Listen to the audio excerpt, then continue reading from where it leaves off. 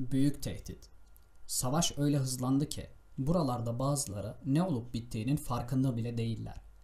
Oysa tablo gün yüzü gibi ortada. Sadece bakmak yetmiyor, görmek şart. Biraz da bilmek sanırım. İç siyasete girmem kolay kolay biliyorsunuz. Bugün de girmeyi düşünmüyorum.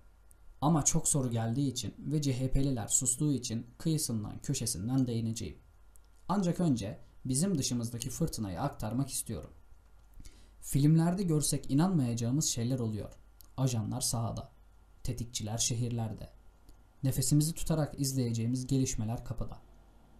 Açalım biraz. Finalde Türkiye'ye, CHP'ye, bölgeye geliriz. Ama önce büyük kapışmayı ya da tehdidi bilmemiz gerekmekte. Meydan okumayı görmemiz gerekmekte. Gerisi kolay zaten. Kaşıkçı suikastı ile sıkıştırılmak istenen Suudi Arabistan Veliaht Prensi Selman, Pakistan, Hindistan ve Çin'e gitti. Üzerine yazılarda yazdım. Selman bu geziye özellikle Çin'e Aramco Yönetim Kurulu üyeleriyle gitti. Bunu da yazdım. İşte bu önemli adım. Şimdi şiddetli fırtına koparmak üzere. Selman, Çin'in Zhejiang eyaletindeki bir petrokimya projesinin %9'luk hissesine ortak oldu. 21 anlaşma yaptığı Çinli yetkililere birçok önemli söz verdi. Petrol adeta Çin'in olacaktı. Bu koz Pekin'e geçiyordu. Buraya kadar her şey güzel. Selman'ın ziyareti, Çin'e güven vermesi ve ortaklık önermesi. Kendi ülkesinin petrol dışında dünya üzerinde başka üretim modelleriyle var olması. Hepsi çok güzel. Hepsi olması gerekenler. Bir de olmaması gerekenler var. Ama oldu. İşte düğüm bu noktada zaten. Açarak ilerleyelim. Selman'ın Çin ile 21 anlaşma yapmasından sonra CIA hemen devreye girdi. Net olarak ortaya çıktı. Sözü uzatmadan, detaya girmeden söyledi. Birinci ağızdan hem de. CIA Başkanı Gina Haspel, Suudi Arabistan Enerji Bakanı ve Aramco Yönetim Kurulu Başkanı Halit El Falih'i tehdit etti. Açık açık, net olarak. CIA, Pentagon'un desteğiyle Aramco'ya giriş yapacak. İstiyorlar.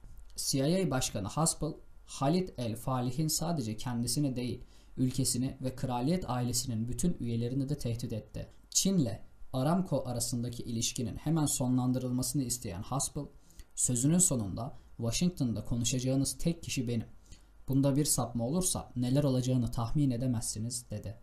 Aklınızı başınıza alın. Eğer Irak'ta petrol şirketlerinde deneyim kazanan CIA ajanlarını Aramco'da göremezsek sözün bittiği yerdir. Bu son uyarıdır vurgusuyla tehdidi büyüttü. Amerika Birleşik Devletleri bu hata yapmakta elbette haklı. Çünkü çöküş öncesi hali yaşayan Washington, Çin'le rekabet edebilecek düzeyde değil.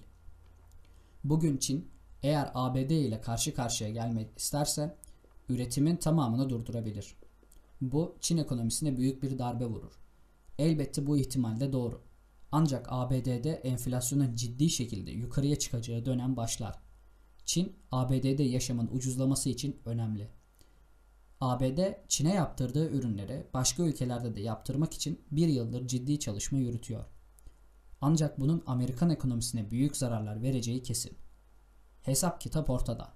O nedenle ABD, Çin'i çökertmek için Aramco'yu kullanmaya karar verdi. Daha doğrusu büyük oranda kontrol etmek için Aramco tek önemli silah. ABD yıkılmamak için Çin ile bir araya gelen herkese saldırıyor. Gücü daha ne kadar yeter kimse bilmiyor. Hatırlayın, Çin'den hava savunma sistemi alacaktık. Kobane olayları patladı. 50 vatandaşımız öldü. Sadece Türkiye mi? Hayır, değil. Çin ile yan yana olmak isteyen herkes hedef olmakta. Cezayir Cumhurbaşkanı Abdülaziz Buteflika'yı daha önce yazdım. Buteflika, ülkesinin Çin ile yaptığı anlaşma sayesinde büyüyeceğini söyledikten birkaç hafta sonra hastalandı.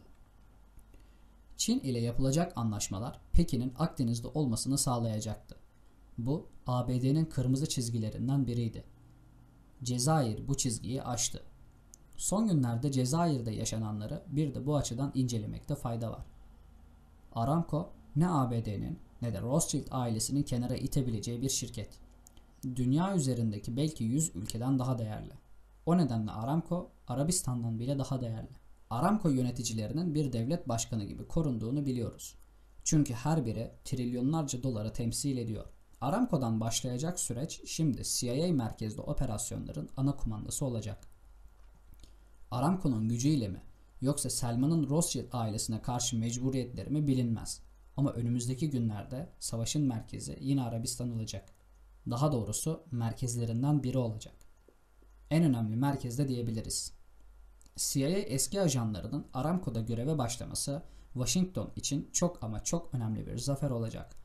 Çünkü bu isimler Irak'ta göreve başladığı andan itibaren İngiliz, daha doğrusu Rothschild ailesi için kayıplar başladı.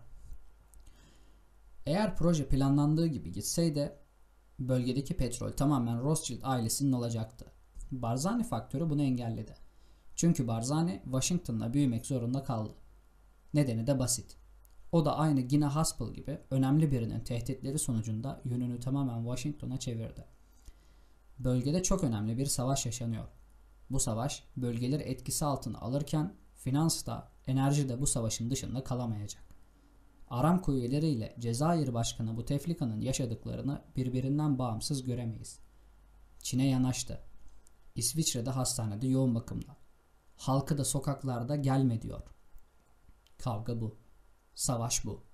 Türkiye mi? Savaş buraya da gelecek. Gelene kadar içeride bir ve bütün olmamız şart. Oyunu görmemiz şart.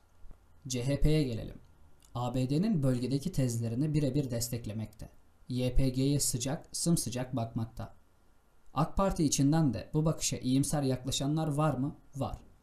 Bölgenin gidişatı içeriği de dizayn eder.